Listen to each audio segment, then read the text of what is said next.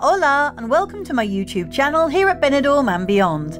I'm an English woman who's lived right here in this tourist city for over 20 years, and my aim is to give you a unique and different take on all there is to see, do, and enjoy in Benidorm and the surrounding areas. So please hit that subscribe button so you don't miss out on any of my brand new content as I upload it in the future.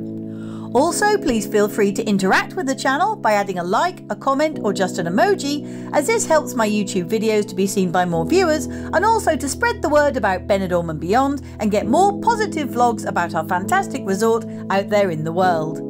Today I'm paying tribute to one of Benidorm's absolute legends on the entertainment circuit, the one and only Sticky Vicky, or Victoria Aragues Gadea, who sadly died yesterday on Wednesday, November the 29th at 6am. The tragic news was announced on social media by her daughter Demaria, also a Benidorm performer, writing, I can't believe it, she has gone surrounded by her family with all our love. I thank God for being able to always be by her side. I am left with a broken heart. Aged 80 when she passed, in her heyday, Vicky was a must see icon in the resort, with many thousands of holidaymakers having watched her X rated risque show over the years, with her name still being mentioned on a regular basis in town, despite her having retired over eight years ago.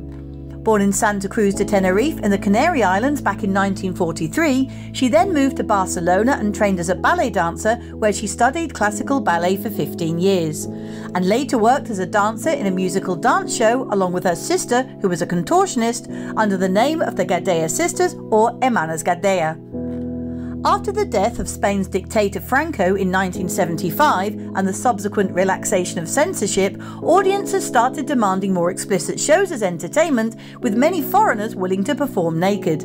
Not wanting to miss out on this new trend, Vicky practiced a new special brand of sexy magic with help from a magician on the circuit, resulting in the daring routines that we all came to know her for, and showcased her latest turn in Barcelona, as well as many northern Spanish cities and in variety shows abroad, before moving to Benidorm in the early 1980s. Having now been persuaded to call herself Vicky Layton by one of her management team, her show soon progressed from producing simple handkerchiefs from her private parts, shall we say, to eventually everything and anything appearing, including ping pong balls, sausages, razor blades, and light bulbs. And with Vicky always displaying a great display of professionalism despite being dressed in only a red lipstick smile. She also made two guest appearances in ITV's hit comedy series Benidorm, including one episode where she was brought in as guest of honour to open Mel's Mobility Shop in season 3.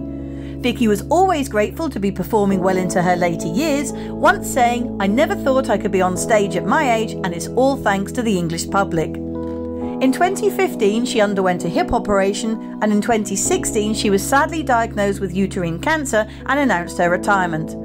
I want to enjoy life now. I've been working since I was 11 and it's time for a rest, she said at the time.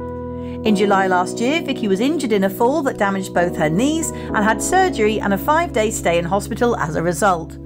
Vicky never married but had one son, Eduardo, and one daughter, Demaria.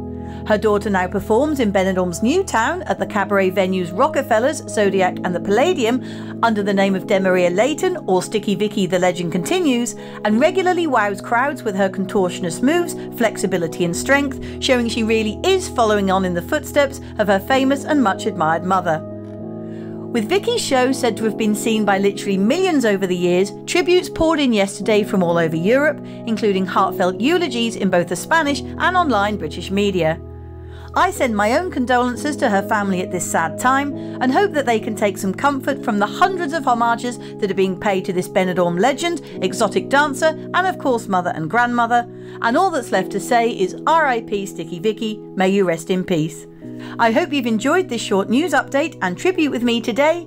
And if you have, please join me again soon for more of my local updates and news bulletins, detailed street and beachfront walks, and tours and reviews on Benidorm's most popular hotels, cafes, bars, and new businesses.